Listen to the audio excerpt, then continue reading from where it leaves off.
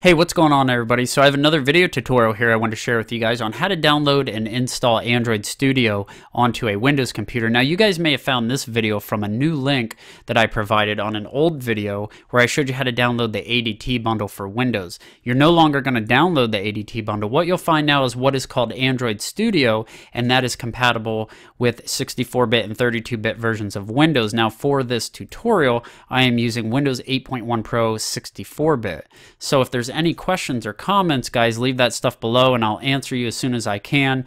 This includes the platform tools, which I use to show you guys how to flash images and stuff. So you want to always make sure you are up to date. Now, I am not migrating or updating from the ADT bundle. I've uninstalled all that stuff entirely and I'm starting over fresh, just like I'm showing you here. So we'll go ahead and get started. What you want to do, guys, is go to Google and search Android developers. And once you get there, you click this link here at the top, Android developers. At the top, click develop, and under that, click tools.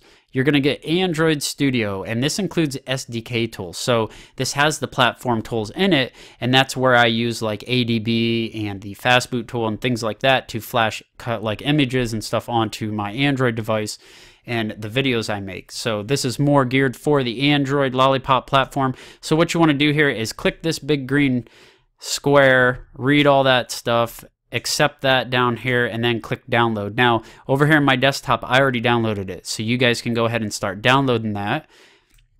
And at the same time, one more thing you need is what is called Java Developer Kit. And they provided a link here. So under over here, like where it says download, you can see where it says installing SDK.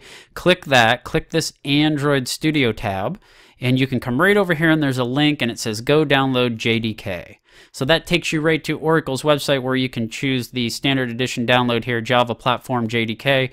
Right here, we will click that and then if you scroll down, you will see it says Java SE Development Kit. So you need to click the dial here or tick the dial and accept license and agreements. And then of course download the version over here that applies to you. The Windows 86 is 32-bit and of course that's 64-bit. So I'm going to go ahead and get started downloading mine now. I'll be right back with you guys as soon as that gets done downloading. Okay guys, so that is done downloading. I'm simply going to click it and start the Java installation here and just go ahead and walk right on through this, leaving everything set like it is normal and just install this onto my Windows computer here.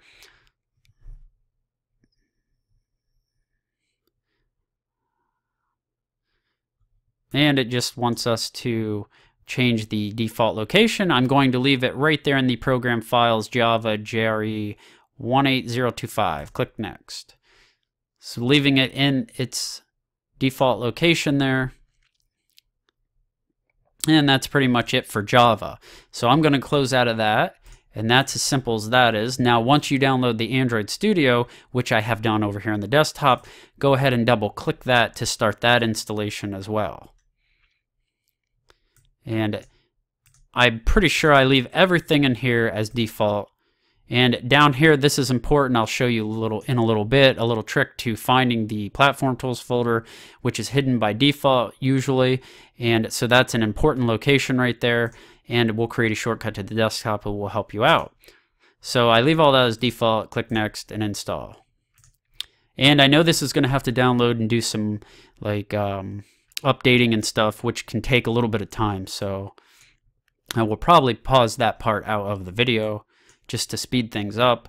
But you may be stuck sitting and waiting for this program to complete, like downloading all the up-to-date stuff.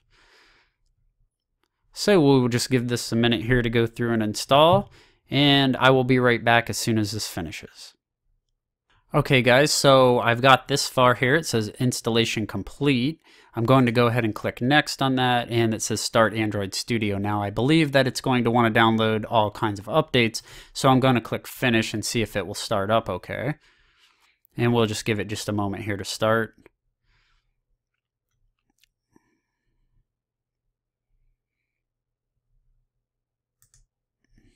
Okay, so I did get an error message here, and this is what I wanted to show you guys. It says no JVM installation found.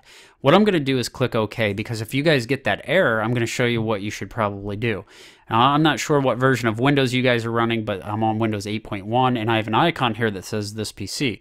Now, you may have an icon there that says My Computer, or it may say Computer. What you want to do is right-click that icon and go to Properties, and then you want to come down to Advanced Settings. You want to get into your system properties here, guys, and then you want to go into your environment variables here.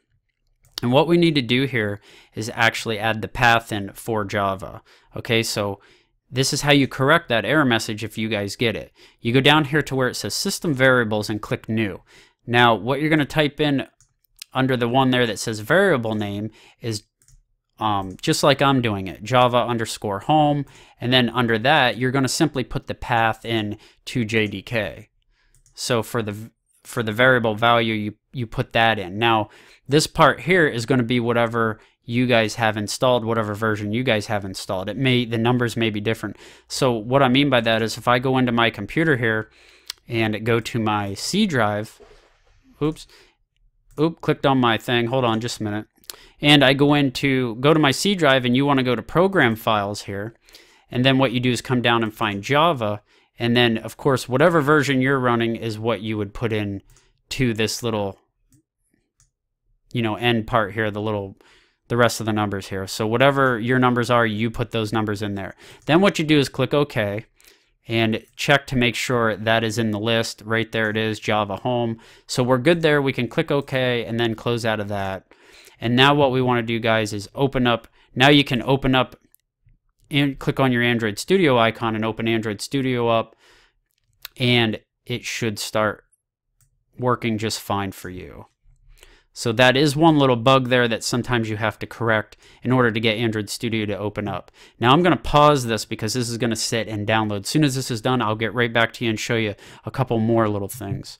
And then we'll finish up. Okay, guys, be right back.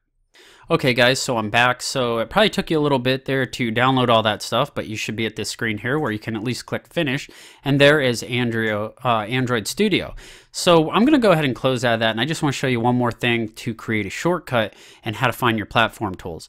So now that you have Android uh, Studio installed, just go to My Computer here, double click your this PC icon or My Computer or computer icon there. And you want to go on your C drive and then go into your user account, which my user account is Jamie and it's right there. Now in here, you're looking for a folder called app data. If you don't see that folder in here, what you want to do from here is go ahead and select view if you're on a Windows 8.1 system here. Go to over here to options and then you want to get into your folder options here. The folder is hidden by default. So the center tab here is view and then you want to pull down the slider here. And here it says show hidden files folders and drives. You want to check mark that. It says hide empty drives. I would uncheck that and hide extensions for known file types. I would uncheck that because I don't see why we would want to hide anything. So do all that stuff there and click apply. So you can click OK and then of course you'll see now there's a folder here called app data. Double click app data and then go into local and then go into Android and go into SDK. And down here, you'll find platform tools. So there are your platform tools. There's Fastboot and ADB. So if you just click back, you can actually right click on that, send to, create shortcut, and that should pop up a shortcut. Let me drag it over right to your desktop, which I kind of go through it quickly there and just, you know, like rename it just platform tools. So, and then I'll take out that little dash and I can just put a space.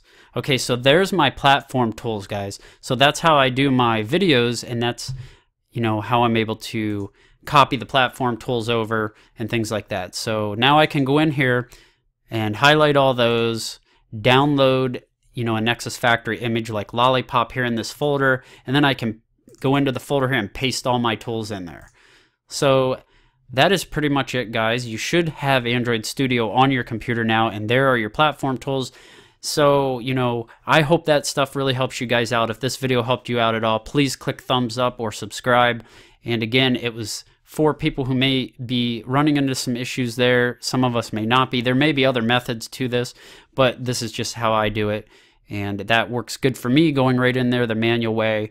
And again, if I go into my user account here, you know, now you can see app data. I never understood why they hide all these files, but I liked everything showing so I know where all my stuff is. So thanks a lot, guys, for watching, and you guys have a good one. See ya.